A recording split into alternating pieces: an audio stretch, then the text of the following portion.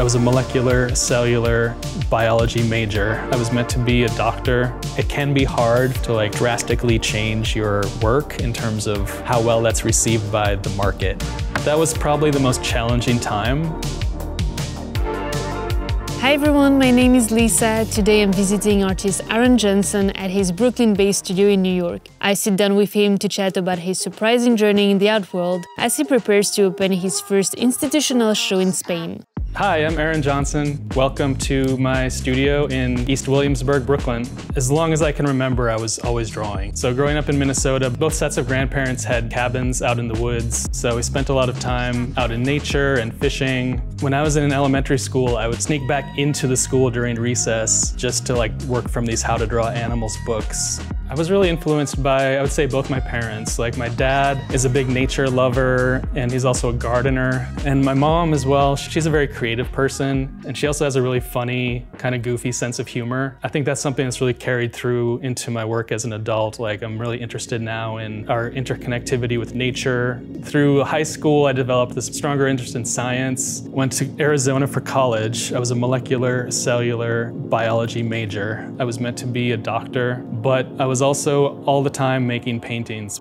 I like to think about it in various chapters. Chapter one is like pre-New York. I went and spent a summer at the Grand Canyon where I was working at a restaurant. So I was living in a tent in the National Forest there and I was painting in the tent. I think I had pretty much decided at that time like I'm trying my best to be an artist now, I just didn't really know how to do it. There were a couple of former New York painters that lived there. They would come over and see what I was doing and tell me that if I wanted to be an artist, the thing to do was move to New York City. I mean, of course I'd seen New York in movies, but I had never been here. I'd never been to the East Coast. But I just decided like, I want to be an artist. These guys said that's the way to do it, so I came here. Aaron took a leap moving to the Big Apple and started to paint in his small Lower East Side apartment. And then chapter two, that was probably the most challenging time time. I would go to art galleries back then and it felt like a really difficult community to like tap into. But then when I got into Hunter, I realized it was just the best thing for me. Once I was able to build a community and, and kind of break out of that, then that's when things start happening and you start getting invited to do shows or you start organizing shows with friends of yours. And that's when I really started to realize that as an artist, it's important to have that community, be kind of like a sponge for all the ideas you can gather from other painters or other artists. Aaron's ideas really thrived in the vibrant art scene of New York. I went to the Jackson Pollock retrospective at MoMA, and that show really blew my mind. I got really into experimenting with poured paint. So this is one of those little paintings. So they were very slick, they were very shiny, and they were full of like teeny tiny details. Do you remember your first ever exhibition? 2003, I was walking down Bedford Avenue, and for those of you that know Williamsburg now, it was completely unrecognizable. But I saw like a flyer on a telephone pole back then that said new gallery seeking artists. And I met this guy named Shane. He hadn't had any shows yet. He lived in the back room and the basement and he had a storefront. So I tried to make it like as official as possible. Brought in my work, hung my work, we scheduled an opening and I wrote a press release and I mail it out to all the critics. So we got a huge crowd at my opening, even though this was like out of nowhere gallery. Looking at the little attendance book over the course of the show, all those big critics that I mailed a press release, they actually showed up.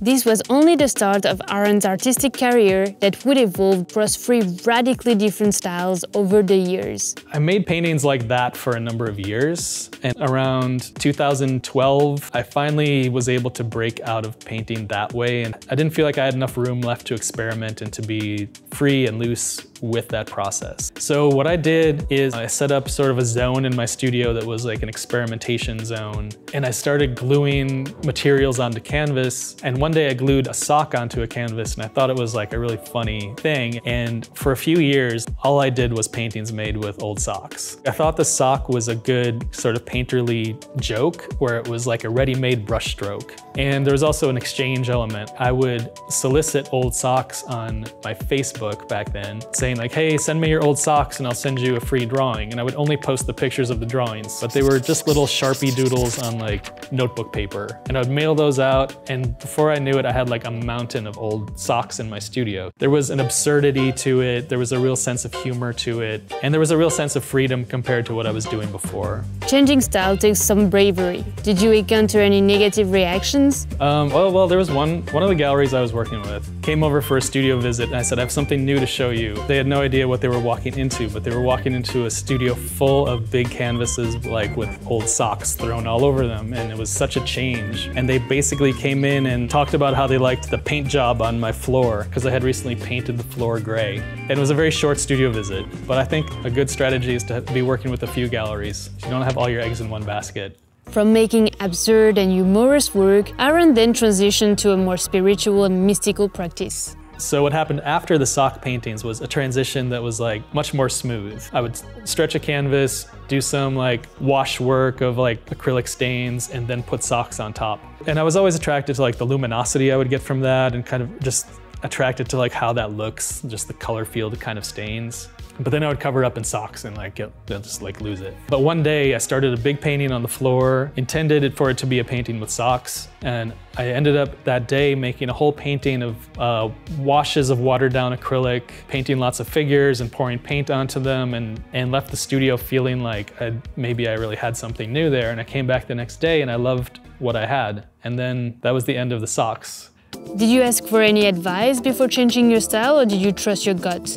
It's funny because I had like notes in my sketchbook sometimes of like other ways to make paintings and I would just come up with like weird ideas. And in terms of how to manifest that change, for me, I set up like a fun zone in the studio. It was like a corner of the studio where I was doing my like serious painting over in the majority of my studio. But a little bit of time each day or maybe one day a week, I would just kind of mess around in the corner with like really experimental, like fun stuff. I think the important thing is to always have like side things happening. So it's not just like, this is the one thing I do in the studio. Were you ever worried that changing your style would negatively impact your career? I'm sure I was kind of stressed about it, but I don't really remember that as much as I remember being just like really excited about the new work I was making. And I was also doing some studio visits with artist friends and they were coming over and they were so excited about the new work that it, it it really gave me confidence. Aaron's unique blend of influences stems from his multicultural upbringing. With a Swedish-American mother that grew up in India, his childhood was surrounded by Indian tradition and culture, which has very much influenced the art he's doing now. But it wasn't always like that. So when I was in graduate school, I got a grant to go to travel to India specifically to visit a site called Khajuraho. They're temples with really exquisite carvings around them of like deities and gods. There's a, a sense of figuration that I think carries over in my work that relates to those sculptures. And my work at that time wasn't really incorporating that idea, but since I've been making the work that I make now, I see the connection very clearly. And I think that influenced my work quite a bit. Aaron Johnson took another major step in his career by opening a solo show at La Térmica, Malaga Center for Contemporary Culture, Art and Innovation. This exhibition, named We Are Made of Stardust, explores our cosmic origins, highlighting our connection to the universe through the fusion of celestial matter in our bodies. After 25 years in New York, Aaron decided to move to LA, where he's currently working on some new exciting projects. Thanks so much for watching, don't forget to like and subscribe, and I'll see you soon. Bye!